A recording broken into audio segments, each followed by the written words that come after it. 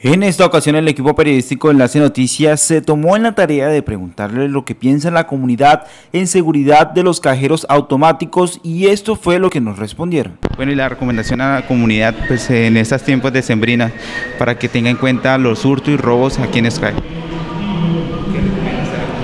Ah, que sería bueno pedir la ayuda del cuadrante para poder llevar si hay mucho dinero.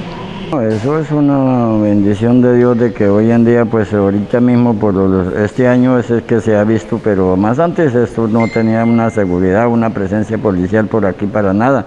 Ayer, por ejemplo, ya ve uno por aquí por las calles del ejército patrullando y ya tiene uno más confianza para salir y hacer sus diligencias y cargar por ahí un pesito para poder buscar la comida.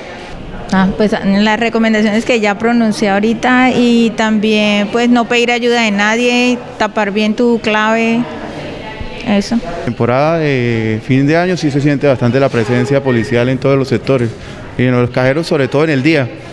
Eh, ya después de las 7 de la noche queda un poco abandonado y queda uno como expuesto en la mayoría de cajeros. Ante ello, las autoridades recomiendan a la ciudadanía en general que cuando se presente algún tipo de anormalidad en su cajero, pueda llamar de inmediato a la entidad bancaria y a los números de la Policía Nacional 123.